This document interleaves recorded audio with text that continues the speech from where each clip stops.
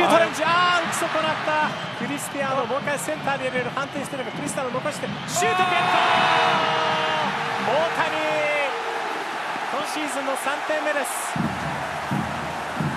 あの大谷がこういう攻撃の仕掛けに加わった時って意外と手に入るんですよね。そうですね。あの、えー、多分あの連勝始まった頃だと思うんですけど、はい、まあ神戸戦もそうだし、かなりね彼が攻撃に加わった時には点も取ってますしね、えー、今日も点取りましたよね。そうですね。はいでここの伊藤のクロスもね、こう中川が前に行ってるんですけど、はい、やっぱり後ろの竹富ですか、ええ、しっかり見てましたよね。そうですね。はい、ああいいシュートですかね。クリスティアーノのパスコ伊藤ですで竹富でこれセンターに枠を入れてクリスティアーノ後ろから大谷のシュートよくゴールキーパーの体重を見て打ったシュートですね。いやそうですね本当にこの後ろに添え替えるぐらいバランス崩してますからね。えー